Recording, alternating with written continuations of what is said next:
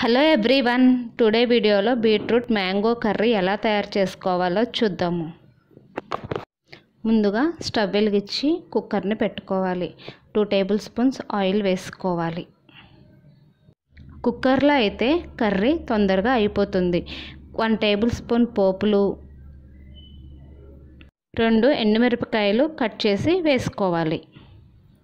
పోపు కొంచెం వేగిన తర్వాత ఒక బిగ్ సైజ్ ఉల్లిపాయని మూడు పచ్చిమిరపకాయలని కట్ చేసి ఇందులో యాడ్ చేసుకొని బాగా కలుపుకోవాలి. ఉల్లిపాయలు కొంచెం మగ్గేదాకా కలుపుకోవాలి.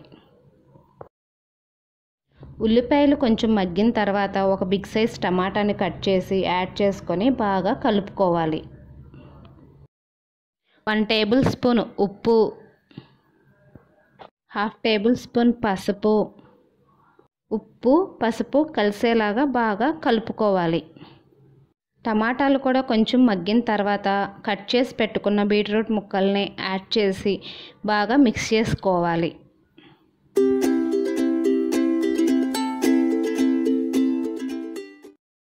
వన్ టేబుల్ స్పూన్ కారం వేసుకొని మిక్స్ చేసుకోవాలి. కారం కొంచెం చూసి వేసుకోవాలి. ఎందుకంటే పచ్చిమిరపకాయలు వేసాం కాబట్టి.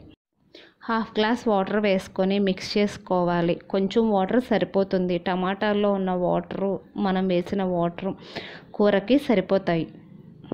వన్ టేబుల్ స్పూన్ అల్లం వెల్లుల్లి పేస్ట్ వేసి బాగా కలుపుకోవాలి.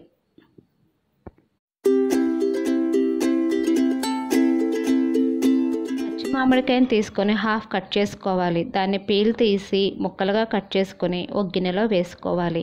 గిన్నెలో కొంచెం వాటర్ వేసుకొని ఆ గిన్నెని కుక్కర్లో పెట్టుకోవాలి. టూ విజిల్స్ వచ్చేంత వరకు ఉడికించుకోవాలి. టూ విజిల్స్ వచ్చేసాయి మూత తీసి చూద్దాము. గిన్నెలో వేసిన మామిడి ముక్కలు మెత్తగా ఉడికిపోయినాయి. ఇప్పుడు ఆ గుజ్జుని కూరలో వేసుకొని ఒకసారి కలుపుకోవాలి.